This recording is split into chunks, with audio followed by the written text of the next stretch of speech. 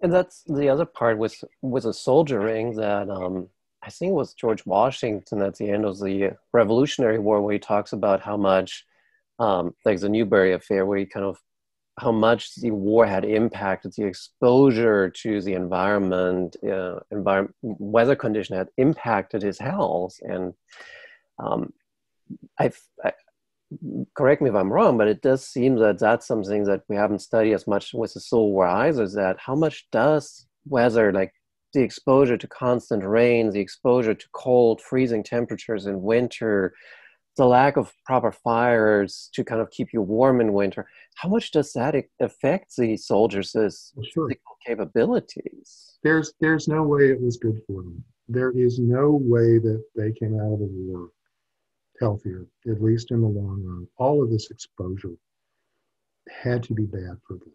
And then you throw in the things we know about, like the high carb diets, mm-hmm. which probably didn't help their, their hearts in the years to come. You know, the example I think about them, I heard a wonderful paper a few years ago um, from, from Barbara Gannon about a topic that nobody wants to talk about chronic diarrhea. Chronic diarrhea, you know, it's the biggest killer of the war starting in 1862. It is. We, mm-hmm. we need to talk about that. And why are they getting chronic diarrhea? Well, in some cases, it's because they're using improper latrines and they're not cleaning their camps.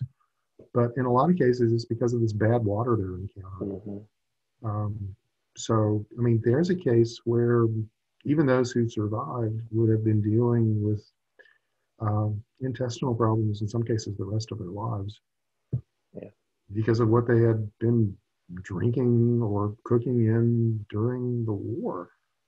Um, I don't think we have numbers. It would be interesting. I mean, you really have to start parsing numbers. You you could probably find enough cases in Union archives to get a rough guess of how many men drowned in floods, or were struck by lightning, or froze to death out on picket. But when you start talking about the, the connection between weather and, and disease, it's it's necessarily going to be trickier. But I certainly think there had to be that connection and it had to last, and it had to affect men for a long time after the war. Many years ago, I edited a memoir of a federal soldier named Marcus Woodcock, and he suffered with chronic diarrhea the rest of his life hmm.